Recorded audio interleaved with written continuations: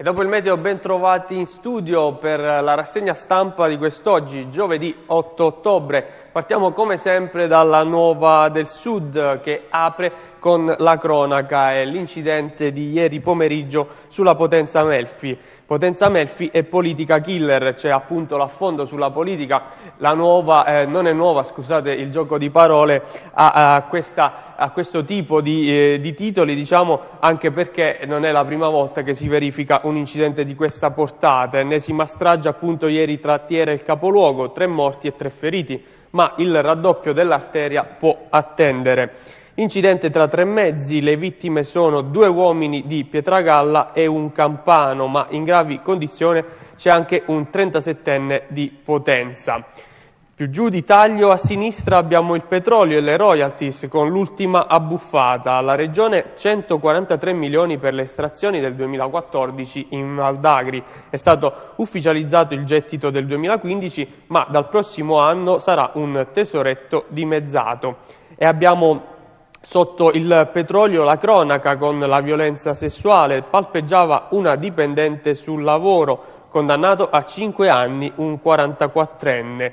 Poi anche spazio all'immigrazione, sono stati ritrovati in Francia in un camion cisterna partito dalla Basilicata ben 11 migranti. Nel taglio a destra invece c'è la politica con, eh, con, la nuova giunta di Potenza e Luongo, con Luongo lasciati da amici, ma dopo il congresso PD è un rischio. Queste le parole del sindaco di Potenza Dario De Luca che però in un'intervista alla Nuova si dice fiducioso sul futuro. E poi ancora spazio al PD con la cantina ancora aperta. Infine di piede abbiamo la questione dei talassemici e nefropatici che entro febbraio avranno i primi arretrati. Una storia che arriva da Lauria, falsano i dati dell'ISEE per accedere ai contributi sul risparmio energetico. Una famiglia è stata scoperta dalla Guardia di Finanza locale. Infine spazio allo sport, la Lega Pro, entusiasmo riacceso a Matera per l'arrivo di mister Padalino e la Serie D con la Lega Nazionale Dilettanti che non omologa il risultato del derby, del derby dell'ultima giornata tra Francavilla e Picerno, invece in Casa Potenza è tempo di analisi profonde. Poi ancora spazio al calcio lucano regionale con lo zoom completo sui recuperi e le gare di Coppa. E passiamo alla Gazzetta di Basilicata che invece apre con il petrolio e il TAR che libera l'iter e a Montegrosso si scaldano già i motori.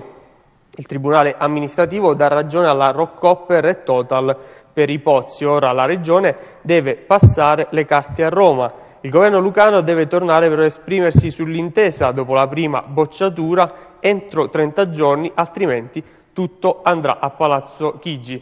Ovviamente c'è spazio a fianco per, eh, per la cronaca e l'incidente, l'impatto mortale a Tiera di Vaglio con i tre morti e i tre feriti, di cui un altro grave. Nel taglio a sinistra le questioni ambientali e Fenice, con, perché riparte il forno stoppato. Regione e ARPAB risarciscano la richiesta. Il TAR appunta nulla alla delibera regionale del 2004 per sospendere l'attività. Il pericolo doveva essere documentato. C'è anche però l'allarme che arriva da Potenza per le falde acquifere inquinate a Vallone Calabrese. Di taglio a destra invece la visita degli imprenditori da Milano a Pisticci in un'ora e dieci. Ecco il perché serve la pista Mattei, la mission che invita a riflettere sulle potenzialità e la riflessione poi di Nicola Benedetto, consigliere regionale di Centro Democratico. Di piede invece spazio alla cronaca, le toccatine sul luogo di lavoro e i cinque anni per la violenza sessuale, condannato il capo cantiere della Esperia. A fianco ancora la cronaca, abusò di un disabile minacciandolo, dicendo ho anche la pistola, processo a potenza per un 62enne di Rionero. E ancora la cronaca, Rapolla, denunciato dai carabinieri, un truffatore dello specchietto, l'abbiamo sentito anche nelle nostre notizie. E Potenza il TAR dall'ok ai lavori alla chiesa di Sant'Anna, esulta il parroco Don Franco Corbo.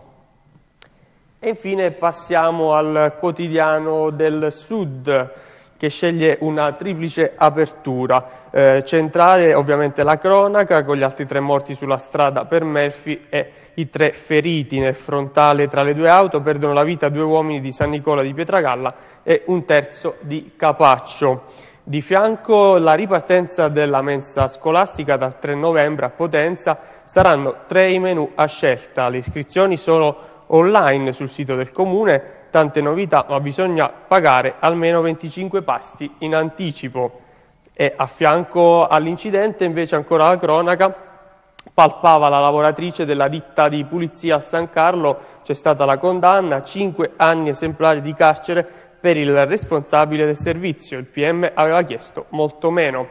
Nella falsa apertura invece c'è spazio per Matera verso il 2019, c'è Cotugno che eh, interrogato sul bilancio ammette abbiamo sbagliato ma errore non solo nostro e poi adduce che a questo punto chiede di revocare le assunzioni dello staff del sindaco. Poi ancora abbiamo invece di taglio il petrolio con le royalty da dare alla Basilicata che nel 2015 arrivano a poco più di 142 milioni e c'è anche spazio per l'ultimatum del TAR alla Regione sulle esplorazioni a Montegrosso. Ancora il PD, le schermaglie del PD con Luongo che prova a sdrammatizzare e la butta sulla muina, mentre per il capoluogo i renziani e gli speranziani ormai sono al muro contro muro. Ancora Fenice, Fenice è andata bene per loro ma smentite Regione e Arpab, non c'era nessun pericolo ambientale, il TAR sblocca il forno e saranno pure risarciti.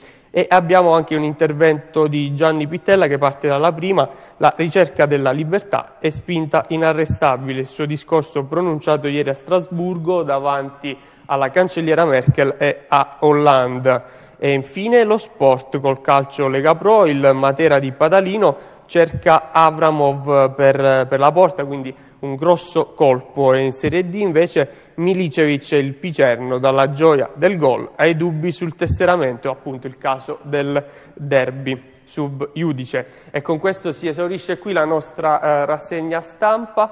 Per il momento mi fermo qui, ma vi lascio alla programmazione della nuova. A più tardi.